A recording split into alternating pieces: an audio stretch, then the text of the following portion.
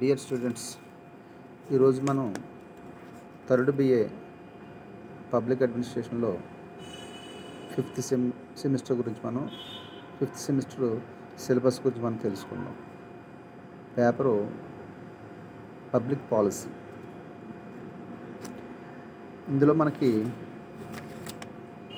ఐదు యూనిట్లు ఉన్నాయి. ఏ యూనిట్లో వేటి గురించి అనే దాని గురించి మనం క్లుప్తంగా తెలుసుకుందాం. మొదటి unit introduction to public policy ప్రభుత్వ విధానం గురించి మనకి అందులో పరిచయం ఉంటుంది. పబ్లిక్ పబ్లిక్ పాలసీ అంటే ఏమిటి? స్వభావం పరిధి. మొదలగు వాటి గురించి మనకి మొదటి యూనిట్లో ఉంటుంది. రెండో యూనిట్ చూసినట్లయితే policy making role of official policy makers అనగా చట్టబద్ధమైన విధానము.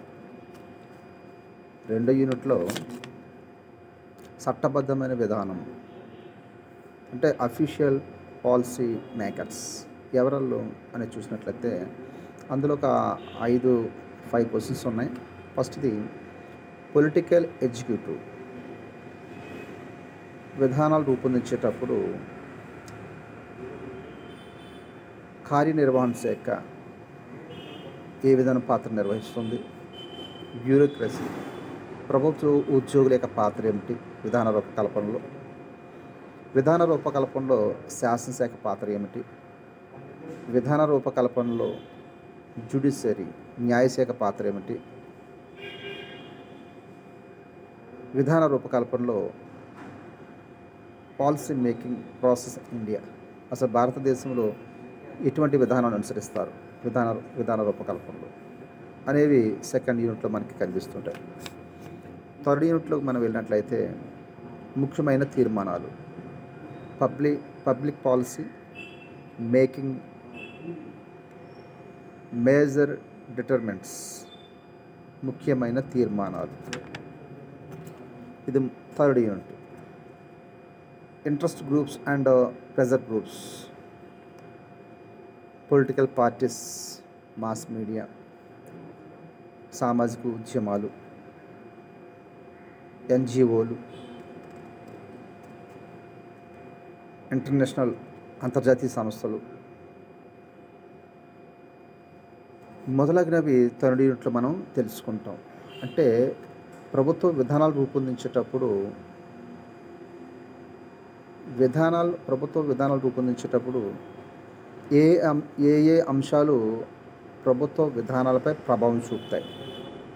ఏం చూపుతాయి? Interest groups pressure groups political parties ప్రతిపక్షాలు మాస్ మీడియా సామాజిక ఉద్యమాలు ఎన్జిఓలు ఇంటర్నేషనల్ అంతర్జాతీయ సంస్థలు మొదలగునవి ప్రభుత్వ విధానం రూపొందించేటప్పుడు కొంత పాత్ర పోషించడం అనేది జరుగుతుంది.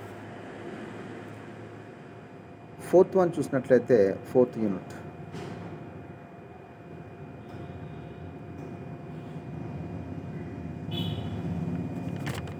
Case studies impact. Agriculture policy land reforms. భూ సంస్కరణలు యాంటీ పో పవర్టీ ప్రోగ్రామ్స్ పేదరిక నిర్మూలన కార్యక్రమాలు పర్యావరణం విధానము ఇండస్ట్రియల్ విధానము పంచాయతీరాజ్ విధానాలు పాలసీ ఇంపాక్ట్ పాలసీ యొక్క ప్రభావము ఎన్జిఏలు అంటే నాన్ గవర్ governmental agencies political parties bureaucracy. ఇవి ఫోర్త్ యూనిట్లో మనకి తెలుసుకుంటాం. ఫిఫ్త్ యూనిట్లోకి వచ్చినట్లయితే పాలసీ ఎవల్యూషన్. ప్రభుత్వ విధానంలో మార్పులు పబ్లిక్ పాలసీ మోడల్స్ అంటే ప్రభుత్వ విధానంలో రకాలు గురించి మనం తెలుసుకుంటాం. Policy evaluation and policy evaluation problems NITI Aayog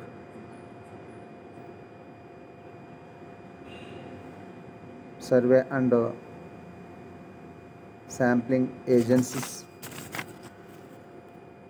international agencies, independent study groups, policy making approaches, and model of policy analysis. Next, uh, policy analysis and overview. ఈ మొదలగు ఈ యొక్క ఫిఫ్టీ మూడు ఒక ఐదు యూనిట్ల గురించి మనం అంటే పబ్లిక్ పాలసీ అని పేపర్లో ఐదు ఫైవ్ యూనిట్స్ ఉన్నాయి మనకు. ఫైవ్ యూనిట్స్ కొరకు మనం మనం బ్రీఫ్గా మనం తర్వాత తెలుసుకుందాం.